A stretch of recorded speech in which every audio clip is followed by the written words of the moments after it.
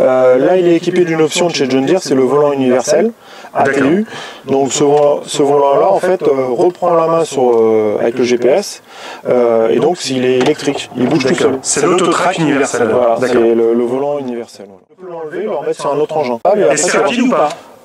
Bah, honnêtement, je pense que sur celui-là, ça vaut le coup. Euh, je ne l'ai pas encore mis sur tous les autres engins. La moissonneuse batteuse, elle est déjà équipée en GPS, donc c'est pour ça qu'on a commencé à regarder le. En SF2, hein Alors, je, SF2. oui, je paye l'abonnement chez John Deere, je suis en SF2. Donc euh, au début, je l'avais acheté en SF1.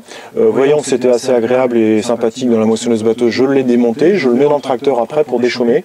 Euh, et puis par exemple, pour rouler les blés, là j'ai des rouleaux de 9,50 m, tu te mets à 9,45 m et t'es tranquille, quoi. Tu fais des, tu fais des planches. Donc quand tu déchaumes, bon, maintenant je déchaume en planche. En fait, je, fais des- je ne fais jamais, je fais plus marche arrière maintenant, je fais des planches. Et je retombe pile poil. C'est un abonnement qui coûte combien? Alors je crois que de mémoire, ça doit être 2200 euros pour 3 ans, quelque chose comme ça. C'est rentable.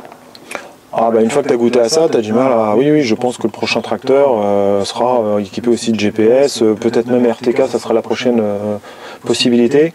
Euh, le seul reproche qu'on peut se faire à ce système de GPS, c'est que le GPS John Deere, enfin moi j'ai l'ancienne boule, l'ancienne antenne, la nouvelle antenne il paraît qu'elle est plus performante. Donc dès que je passe en fourrière sous les arbres, je perds le signal, il me faut au moins 5 à 6 minutes pour récupérer le signal, pour avoir de nouveau la précision à 3 cm.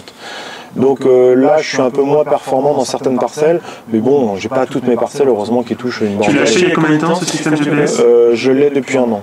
Mais la nouvelle antenne John Deere, apparemment, est plus performante puisqu'il y a plus de satellites. On peut avoir et les satellites américains et les satellites russes. GLONASS. GLONASS. Donc on a une performance qui est accrue. Donc là aujourd'hui tout ça c'est démonté puisque c'est parti dans l'automoteur puisque je m'en Ah, sers tu dans t'en sers aussi Je m'en sers dans la moissonneuse batteuse, dans le tracteur et dans l'automoteur pour euh, la coupure des tronçons. D'accord. Bien évidemment, tu peux pas adapter euh, l'autotrack, euh, le volant autotrack. Sur le GPS, sur le, Sur temps ouais. Si, si, tout à fait.